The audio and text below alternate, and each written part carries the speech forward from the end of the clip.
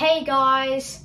So, on July 1st, Apple just released their next generation software for 2021 iOS 15, iPadOS 15, tvOS 15, watchOS 8, and macOS Monterey. And today, we're going to be installing all of the public betas, but tvOS 15, only because, well, tvOS 15 does have some new features they're mostly just carried over from iOS 15 and iPadOS 15 and all the other new OSs. And also because I want to keep the video as short as possible. So yeah, we're just gonna be focusing on the four big ones. So yeah, let's get to it.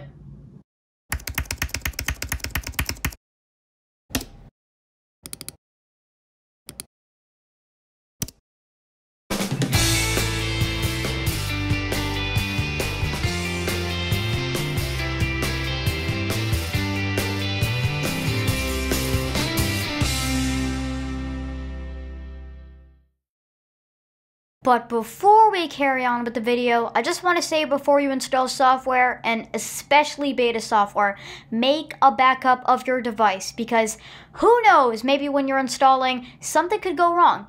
So there are two ways to back up your device that I know of. You can use either an iCloud backup or an iTunes backup. An iCloud backup is just where the iCloud backup utility puts all your device's data in the cloud. But an iTunes backup is where it backs up your device's data to your Mac or PC in the Finder or File Explorer. And for your curiosity, I used an iTunes backup, so I'm all good. So, anyways, let's carry on with the downloading and installation. So, step one is to go to Safari or whatever browser you use, go to the search bar and type in beta.apple.com. And I know it's such a simple link to type in, but I will still leave a link in the description to the website just so it's easier and faster to get to. But, anyways, you scroll down until it says Get Started. And when you get to this screen, this is the screen where you choose what OS you want to install. And since we're installing it on an iPhone, we're obviously going to select iOS. Then you scroll down to where it says Get Started, and in that little info box, you click the link that says Enroll your iOS device. And then you click that. And then when you're on this screen, you scroll down to where it says Install Profile. And in that little info box, you'll see this blue button that says Download Profile. And then you click that. And then Safari will prompt you saying, This website is trying to download a configuration profile. Do you want to allow this? Now, obviously, since we want to install the iOS 15 public beta, we're going to press Allow. And immediately after that, an alert will pop up saying Profile downloaded. Review the profile in the Settings app if you want to install it, which we obviously are going to install it, so yeah. So, step two, you want to go to Settings, and under Apple ID, there will be a button that says Profile Downloaded, and you want to click that and then a pop-up will show the iOS 15 and iPadOS 15 beta software profile and you want to go to the top right corner and press install and then it will prompt you to enter your passcode and then this consent window will pop up and you just go to the top right corner and press install and then install again and then your iPhone will prompt you to restart. Now, you don't have to restart, but just for the sake of the installation, we're going to restart anyway. And after your iPhone is restarted, you go back to settings, you go to general, and then software update.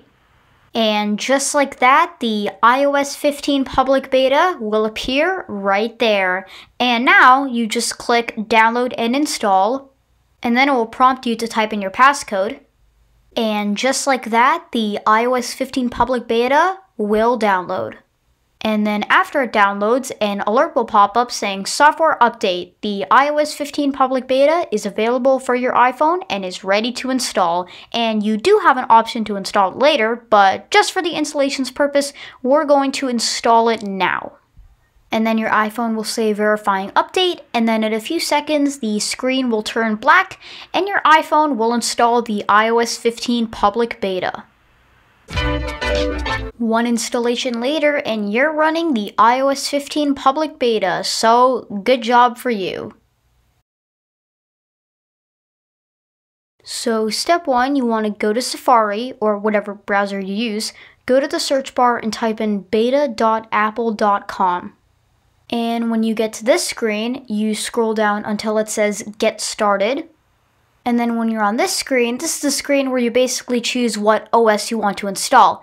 And since we're installing it on an iPad, we're going to select iPad OS and then you scroll down until it says get started and in that little info box you'll see a link that says enroll your iPad and you click that and when you're on this screen you scroll down to where it says install profile and in that little info box you'll see a big blue button that says download profile and you click that and then Safari will prompt you saying, This website is trying to download a configuration profile. Do you want to allow this?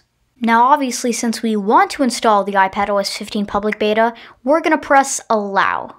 And immediately after that, an alert will pop up saying profile downloaded. Review the profile in the settings app if you want to install it, which we obviously are going to install it, so yeah. So step two, you want to go to settings and under your Apple ID, you'll see this button that says profile downloaded and you click that and then after, this window will pop up showing the iOS 15 and iPadOS 15 beta software profile. And now you just go to the top right corner and press install. And then it will prompt you to type in your passcode. And then this consent window will pop up and you just go to the top right corner and press install and then install again. And then your iPad will prompt you to restart. Now, you don't have to restart, but just for the installation's purpose, we're gonna restart anyway. And after your iPad is restarted, you go back to settings, you go to general, software update, and just like that, the iPadOS 15 public beta will appear right there. And now you just click download and install, and then it will prompt you to enter your passcode. And just like that, the iPadOS 15 public beta will download. And after the beta downloads, the download and install button will now say install now. And you click it, and after your iPad will say verifying update, and in a few seconds, your iPad screen will turn black and install the iPadOS 15 public beta. One installation later, and you're running the iPadOS 15 public beta, so good job for you. So step one, you want to go to Safari or whatever browser you use, go to the search bar and type in beta.apple.com. And when you get to this screen, you scroll down until it says sign up and sign in or get started. And when you get to this screen, this is the screen where you basically choose what OS you want to install.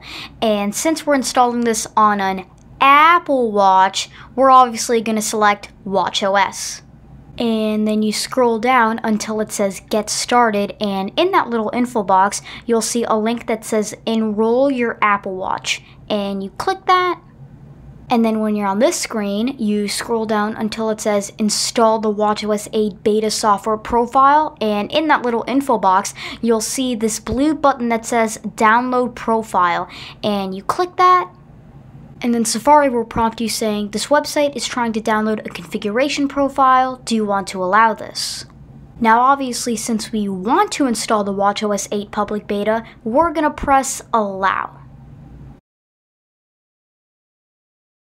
So step two, after you pressed allow in Safari, Safari would have redirected you to the Apple Watch app and this window would have also popped up showing the WatchOS 8 beta software profile. And now you just click install and then it will prompt you to type in your passcode and then this consent window will pop up and now you just press install and then install again and then your iPhone will prompt you to restart your Apple Watch. Now, you don't have to restart your Apple Watch, but just for the installation's purpose, we're gonna restart anyway.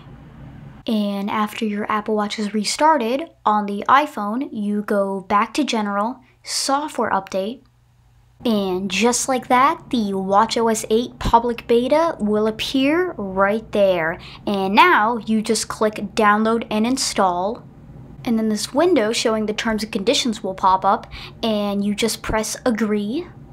And then your iPhone will prompt you to enter your passcode on your Apple Watch. So, moving over to the Apple Watch, you just press proceed, and then you can enter your passcode. And then your iPhone will download the WatchOS 8 public beta and then automatically install the WatchOS 8 public beta to the Apple Watch as seen in the video.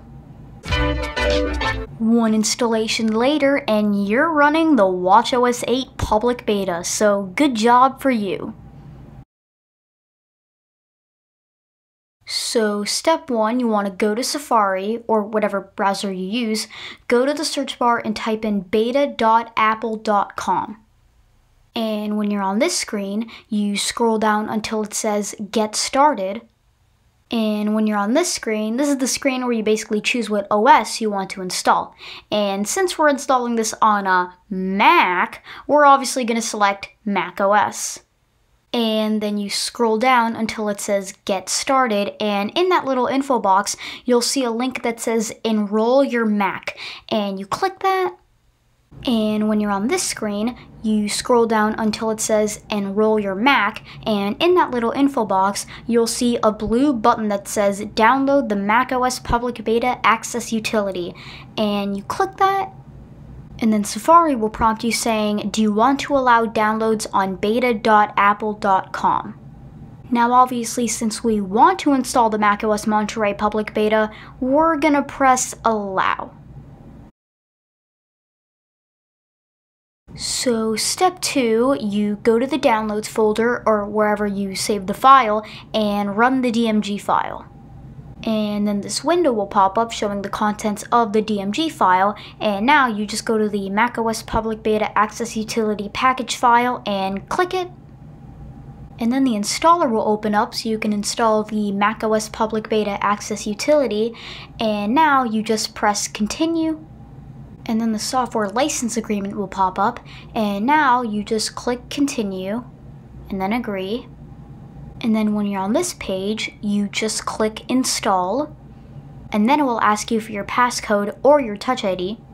And then the installer will install the macOS Public Beta Access Utility so you can install the macOS Monterey Public Beta. And after the installer's done doing its thing, you just press close, and then the installer will ask if you want to move the DMG file to the trash or keep it. But in my case, I'm going to move to the trash just so I can save some space. And heading over to the system preferences, just like that, the macOS Monterey public beta will appear right there. And now you just press upgrade now, and your Mac will download the macOS Monterey public beta. And after the beta is done downloading, the Install macOS Monterey Beta app will open up automatically. And now you just click Continue. And then the software license agreement will pop up. And now you just click Agree. And then Agree again. And then the installer will ask you what disk you want to install it on. And in my case, I'm going to install it on my Macintosh HD. And after you selected what disk you want to install it on, you just click continue. And then it will prompt you to type in your passcode. And just like that, the macOS Monterey Public Beta will begin to install on your Mac. And after the beta is done installing, your Mac will prompt you to restart. So now you click restart and your Mac will, well, restart. One restart later, and you're running the macOS Monterey public beta, so good job for you. Oh, thank God I'm done with this voiceover. So, after using most of the public betas for the past few days, if you don't count the bugs, it was a great upgrade. I mean, we now have widgets and the app library on the iPad, the new mindfulness app on the Apple Watch, the fact that you can screen mirror on a Mac with your iPhone and iPad. All of this is great, but what is the craziest thing out of all of this? The fact that the iPhone 6s is still supported. I mean, the fact that Apple is still supporting a six-year-old iPhone in 2021, I mean, that is pretty mind blowing. And you know, I almost didn't get my iPhone 12 mini because my iPhone 6s still supported iOS 15. Because back then I thought, oh, yeah, if it supports iOS 15, yeah, sure, I can still use it. It might have a bad battery, but sure, I can still use it. Of course, now that I have my iPhone 12 mini, oh, yeah, I'm glad I upgraded from this thing. But, anyways, that is the end of the video. Thank you guys so much for watching. Comment if your installation of the public betas were successful, like and subscribe, and I'll see you guys in another video. Bye! Hey guys, so I just want to say before you click off, thank you so much for watching the video, and make sure you follow my Twitch to see my gaming live streams, my TikTok for my YouTube sneak peeks, and my Instagram for my YouTube shorts. You don't have to follow them, but it is much appreciated. Also, click my YouTube icon to subscribe to my channel because it really helps out. And click the video on the left to see my most recent video, and click the video on the right to see my previous video. Anyways, I hope you have a good day. Bye!